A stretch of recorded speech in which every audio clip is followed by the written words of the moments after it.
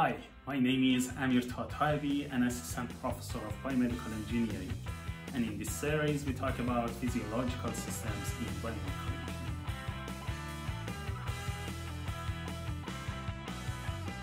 In the last video, we talked about Kessel model and how we can use it in order to uh, describe some of the parameters in our cardiovascular system. So if you haven't watched that video yet, I recommend that you pause this video, go watch that first video, and then uh, return here and continue this video.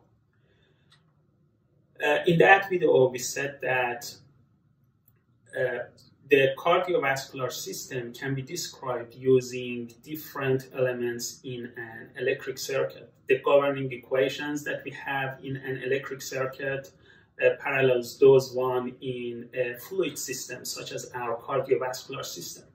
For example, uh, we saw that blood flow rate, volumet volumetric flow rate, and pressure of blood parallels electric current and voltage in an electric circuit.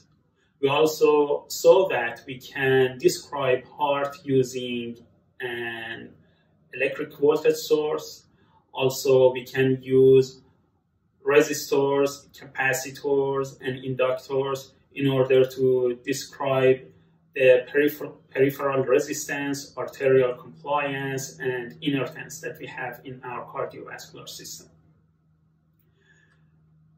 Here, this is one of the uh, common electric circuits that is used usually to describe our cardiovascular system. In this electric circuit, you can see that there is a resistor, uh, an inductor, and a capacitor. And therefore, this compartment here is called an RLC compartment.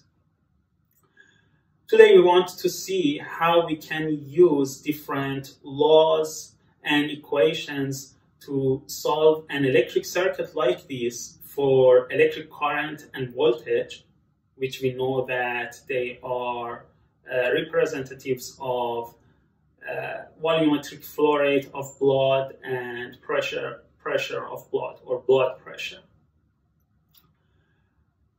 Kirchhoff's current law or KCL says that the current entering any node is equal to the current leaving that node. And we know that the electric current uh, describes blood flow rate. So let's replace it by uh, blood flow in this statement. Now, what does it say? If we look at this node in the electric circuit that we have here, this law, KCL law, uh, says that blood flow entering this node equals blood flow exiting or leaving that node. For example, if we have QA entering this node and then QB and QC uh, leaving that node, then based on KCL, QA equals QB plus QC. Then, Kirchhoff's voltage law says that the sum of all voltage around a loop is equal to zero. Again, we know that voltage is a representative of uh, blood pressure, so let's replace it by pressure. Uh, and let's interpret this. Uh, the pressure around a loop is zero. What does it say? It means that if there is any pressure loss due to some of the components, some of the elements in our circuit, then there should be a pressure gain as well to compensate for it.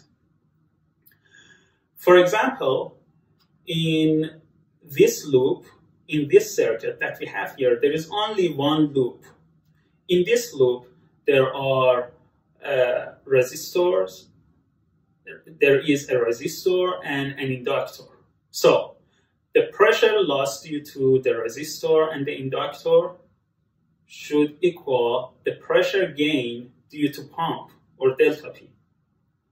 But based on Ohm's law and Faraday's law and other laws that we have in uh, electrical engineering, we can find the voltage across each of these elements. For example, we know that voltage across a resistor is Ri, an inductor it is L di over dt.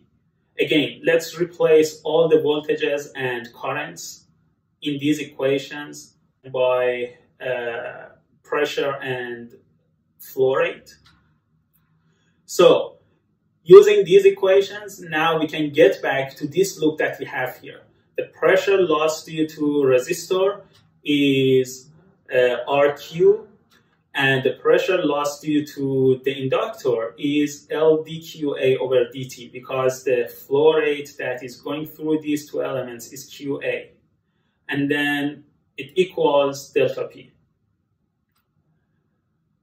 So in addition to these two equations, we can also apply KCL to other nodes. For example, this node on top of the pump that we have here. Uh, the flow rate entering this node is QP, or the flow rate that goes through the pump, and the flow rate leaving this node is QA. Therefore, we get QP equals QA.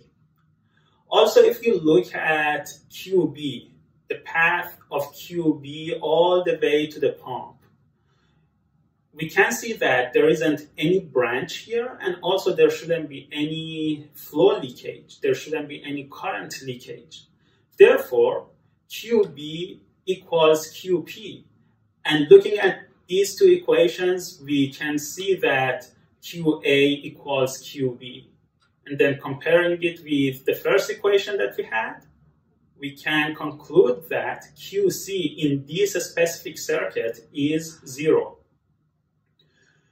So an important conclusion that we have here is whenever we have an RLC comp compartment, a single RLC compartment in our circuit, the flow that goes through the capacitor is zero. That is always true.